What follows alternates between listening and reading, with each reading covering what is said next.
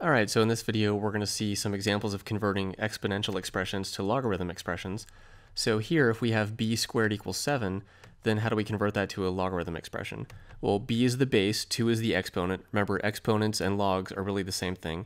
And what I mean is a logarithm is just an exponent, so we talked about that in a different video. So the base is b, the exponent is 2, this number over here is 7. So what we say is the base b log of 7 equals 2. Okay, because b raised to the second power equals 7.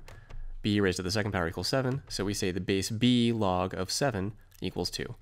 How about here? We have 2 to the a equals 12.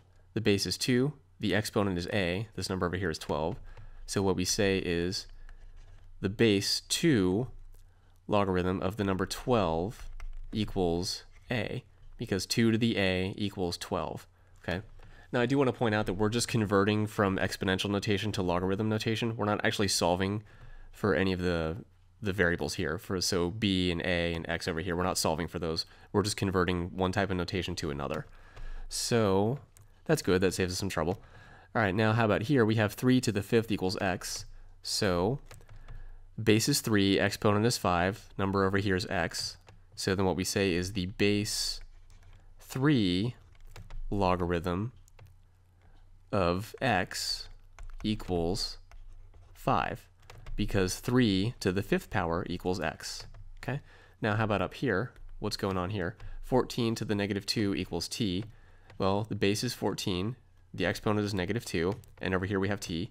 So what we say is the base 14 log of t equals negative 2 okay, because 14 to the negative 2 equals t. And how about over here? a to the 12th equals y. The base is a, the exponent is 12. Over here we have y. So we say the base a logarithm of y equals 12 because a to the 12th equals y. Okay, so notice there's a sort of a pattern here. The base in the exponent notation is the same as the base in the logarithm notation. Okay, that's really not a coincidence. Um, so here, base is A. Over here, the base is A. Okay. And the same thing here, base 14, base 14, base B, base B, base 2, base 2, base 3, base 3. And similarly over here, what do we have? x to the y equals w. So we don't have any numbers at all, just variables, but that changes nothing.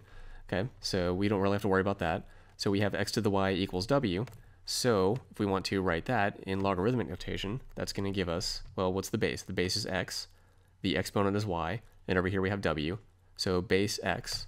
So we have log base x of w equals y because x to the y equals w. Okay, so that is six examples of converting from exponential notation to logarithm notation. And in another video, we're going to see going the other way, converting from log notation to exponent notation.